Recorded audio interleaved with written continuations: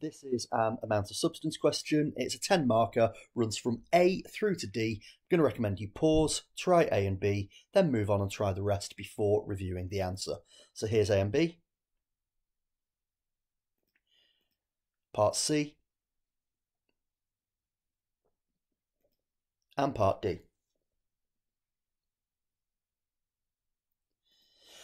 Now let's start taking a look at the answers. Probably some of the most complicated balancing of equations that you will have seen in a past paper question. My start point is to pick an element and then it can be trial and error. I'm going to start with the copper though because I can see that I've got Cu2S and Cu2O on the right.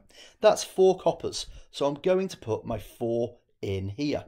Now that means I've got four ions, which means I need to multiply up my FeSiO3 on the other side. And then because I've done that, and I've got my four SIs, I need four SiO2. Now I can then look at my sulfurs. I've got four times two in the CuFeS2, eight sulfurs. But I've also got a Cu2S. So I need 7 SO2 to balance them. And once I've done that, I'm left with the oxygens, which is the one I would always go to last. Uh, it's there as an element on its own, so it's easier to just make up the numbers, and that comes to 9.502.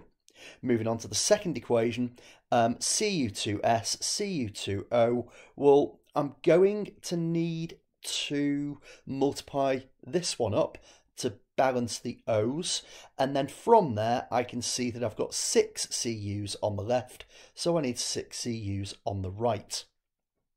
Moving into organic chemistry for a little bit here, reasons why sulfur dioxide is removed from exhaust gases.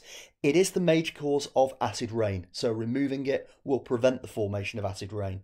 And the other answer to go for potentially is that it can cause breathing difficulties. It is a toxic gas. Moving on to part C, and we have a calculation here.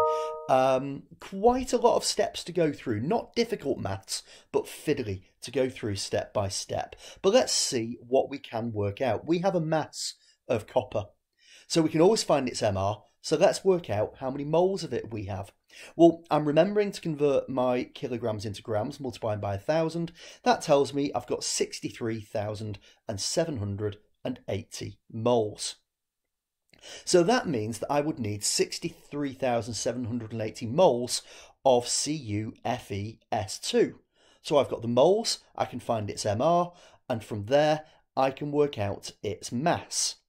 Now, finally, I know that that's the mass of CuFeS2 that I would need, but that is only 1.25% of the rock that I would need to extract from. So I'm going to do my calculation, divide that by 1.25, multiply by 100, and that tells me, well, it doesn't quite tell me yet, because I'm also going to divide by 10 to the 6. And that's because that would give me an answer in grams. I want the answer in tons. Now, to get from grams to kilograms, you divide by a 1,000. To get from kilograms to tons, you divide by a 1,000. So I'm dividing by a million and that takes me to 936 tonnes. Finally, part D, we have got here a very straightforward atom economy question. No tricks, nothing here to throw you.